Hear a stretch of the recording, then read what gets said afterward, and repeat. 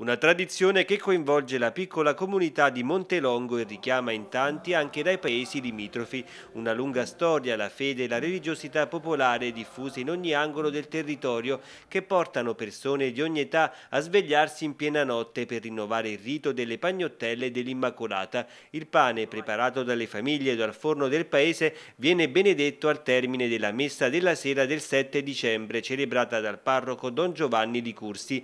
Le ceste vengono poi portate nelle case in attesa della distribuzione che inizia dalle 4 del mattino. Le famiglie più agiate una volta facevano in casa il giorno prima dell'Immacolata le pagnottelle per darle alle persone bisognose e non, non, solo alle persone del posto, ma venivano anche dai paesi del circondario alle ore proprio preste del mattino, verso le 3 e le 4 e lo ricordo con eh, molta chiarezza questo fatto perché mia madre ha sempre portato avanti questa tradizione e quindi sin dalle prime ore del mattino la gente si recava per chiedere il pane.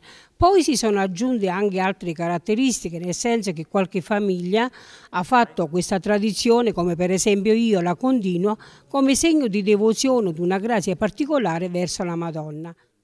Un appuntamento che si rinnova e unisce le generazioni rinnovando l'identità di un piccolo centro e il senso di appartenenza a un territorio che custodisce un patrimonio di risorse. Comunicare, questo distribuire, ricevere questi pani confezionati da loro significa che è un gesto di fraternità, di comunione tra di loro. Ma certamente nasce sempre l'origine di questa festa da, dalla solennità dell'Immacolata Concezione di Maria. La tradizione è andata avanti, rispetto agli anni passati non è, non è cambiato nulla, l'unica cosa è meno gente perché siamo diminuiti come popolazione, però il, lo spirito, la tradizione, la voglia è la stessa, anzi bisogna riconoscere a questi ragazzi eh, della Prologa e non che hanno cercato di ravvivare la tradizione.